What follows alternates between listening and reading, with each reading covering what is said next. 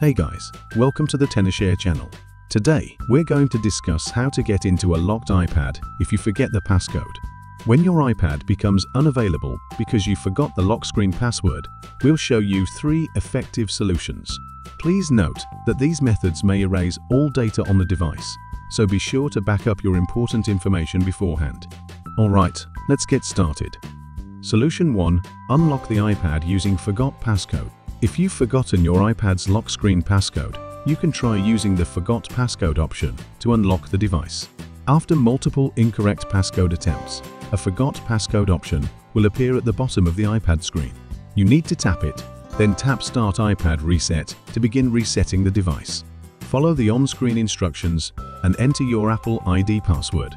This method is quick and straightforward, as it removes the lock screen during the reset process. You'll need to set up the iPad again once the reset is complete. After setup, you'll regain access to your iPad. However, there are three preconditions that your iPad must meet for this feature to work. Solution 2. Unlock the iPad using recovery mode. If the Forgot Passcode option is not available on your iPad, then recovery mode is your next option. First, you need to put your iPad into recovery mode. The method differs slightly depending on the model. You need to connect your iPad to your computer. For iPads without a home button, press the volume up and down buttons. Then hold the top button until you see the recovery mode screen. For iPads with a home button, press and hold the home and top buttons to enter recovery mode. Once your iPad is in recovery mode, open iTunes or Finder. When iTunes or Finder detects your device, you'll see options to update or restore. Then choose to restore your iPad. This will download the iPad's firmware, and once it's finished, the restoration will begin. This process will erase all data on the iPad, including the lock screen password. Once the restoration is complete, you can set up your iPad again and either restore from a backup or set it up as a new device.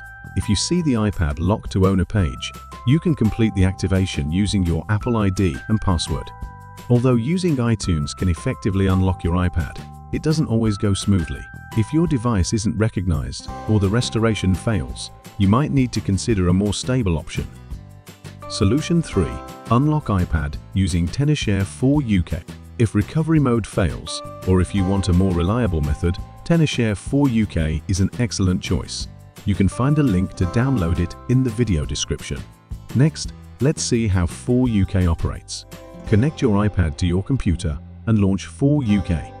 Select the Unlock iOS screen option. Follow 4uKey's instructions to put your iPad into recovery mode.